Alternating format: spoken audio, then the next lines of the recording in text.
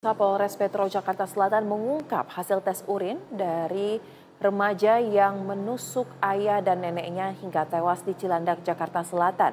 Hasilnya negatif narkoba atau obat terlarang lainnya. Hal tersebut disampaikan oleh Kasat Reskrim Polres Metro Jakarta Selatan, AKBP Gogo Galesung di lokasi tempat kejadian perkara perumahan Taman Bona Indah pada Sabtu 30 November. Dari keterangan awal, MAS mengaku tidak bisa tidur dan mendapatkan bisikan. Meski demikian, polisi belum menyimpulkan keterangan tersebut. Mereka harus mengambil keterangan MAS atau pelaku dengan pendampingan. Gogo mengungkapkan Polres Metro Jakarta Selatan menggandeng Asosiasi Psikolog forensik untuk melakukan pendalaman motif pelaku.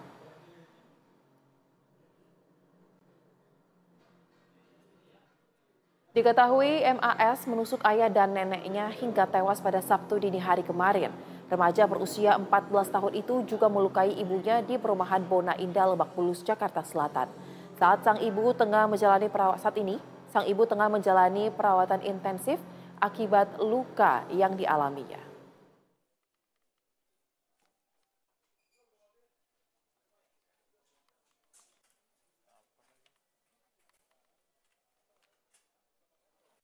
pelaku sendiri Pak nanti? Ya saat ini kami sedang meng menggandeng Apsifor ya untuk melakukan uh, pendalaman motif ya karena bagaimanapun anak adalah harus didampingi ya diambil keterangan seperti itu. Kalau sendiri dari pelaku seperti apa? Ya interogasi awalnya dia merasa apa ke dia tidak bisa tidur terus ada uh, ada hal-hal yang membisiki dia lah meresahkan dia seperti itu. Kami ini masih kita dalami, belum bisa ngambil kesimpulan kalau untuk motif. Tidak ada ya. motif dan untuk mengetahui perkembangan terkini dari kasus remaja yang membunuh ayah serta neneknya, kita akan langsung bergabung dengan jurnalis BTV, ada rekan Juan Artia dan juru kamera Hilman Prayitno langsung di TKP yang berada di kawasan Lebak Bulus, Jakarta Selatan. Selamat siang, Juan. Apa perkembangan terbaru dari hasil olah TKP yang kembali dilakukan oleh polisi?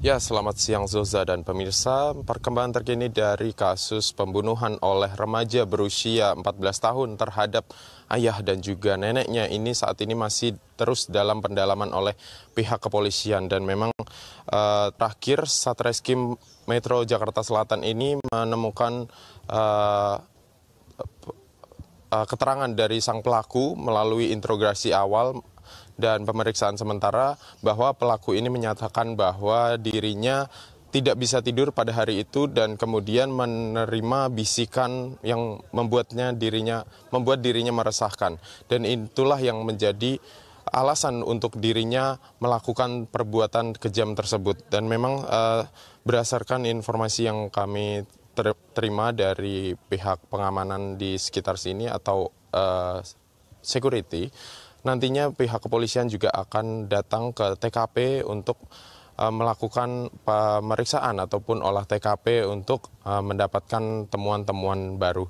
Sementara itu saja dan memang uh, pihak kepolisian ini saat ini masih terus melakukan pendalaman terhadap pelaku yang berinisial MAS berusia 14 tahun itu. Zoza.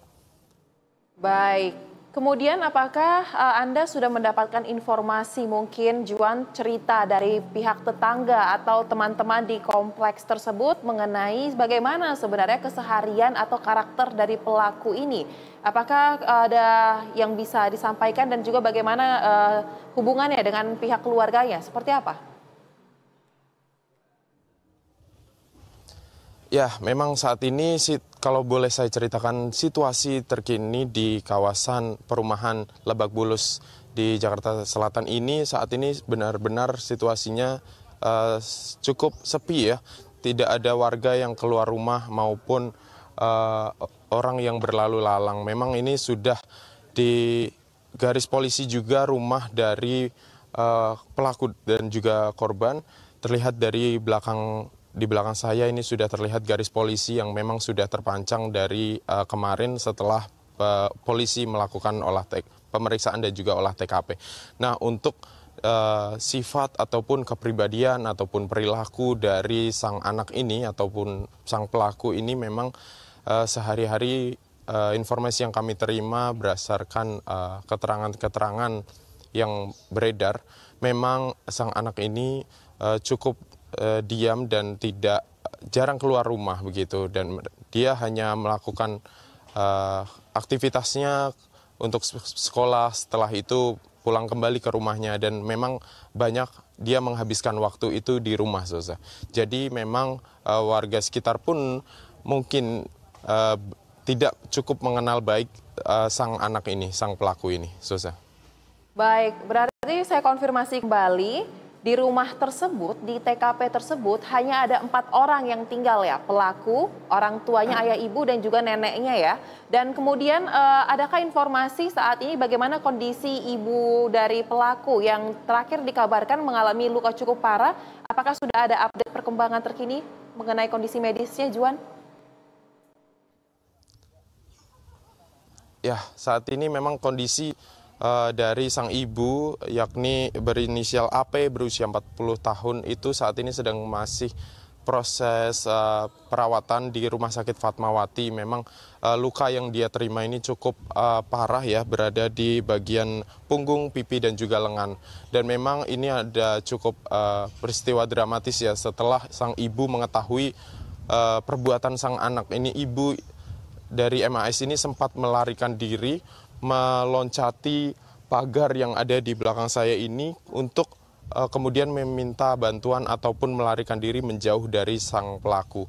Dan memang sempat ada uh, kejar-kejaran dari sang pelaku ini uh, hingga akhirnya uh, satpam di kawasan komplek ini berhasil menangkap MAS atau pelaku. Dan memang saat ini kondisi dari sang ibu sedang dalam masa pemulihan dan perawatan di Rumah Sakit Fatmawati. Sementara pelaku atau MAS ini saat ini masih ditahan di Polres Metro Jakarta Selatan untuk melak untuk mengikuti hmm, pemeriksaan lebih lanjut dan pendalaman uh, dari pihak kepolisian. Namun uh, informasi yang terbaru memang sang pelaku ini telah menjalani tes urin dan hasilnya negatif. Ini artinya pelaku saat melakukan perbuatan tersebut tidak di bawah uh, uh, pengaruh dari obat-obatan terlarang.